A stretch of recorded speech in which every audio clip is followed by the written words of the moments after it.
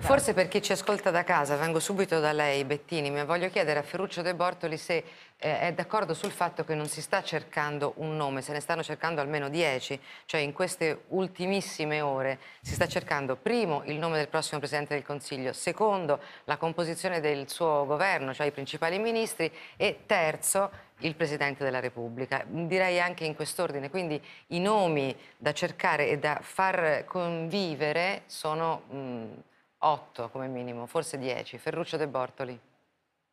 E sono troppi, insomma, da questo punto di vista, che segnano poi l'assoluta incertezza nella quale stiamo vivendo. A me colpisce, e qui mi collego con quello che dicevate prima con il professore Muzzi, che questo stato d'emergenza che il Paese sta vivendo non soltanto per la pandemia, sembra non modificare minimamente insomma, il dibattito politico sulle due grandi questioni che riguardano il Quirinale e il governo, se proseguirà questo, se ce ne sarà un altro. Insomma.